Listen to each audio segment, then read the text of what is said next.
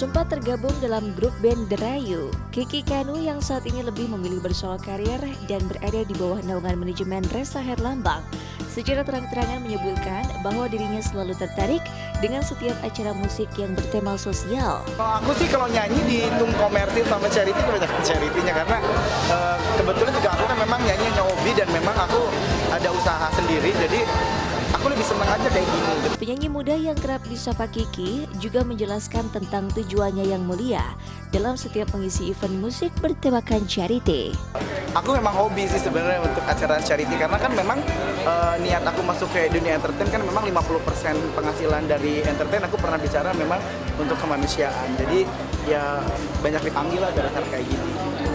Kadang-kadang kan uh, gimana ya maksudnya lebih mungkin lebih jiwanya untuk lebih bermanfaat. Karena memang aku sudah bernazar memang hasil dari entertain aku ini memang untuk kemanusiaan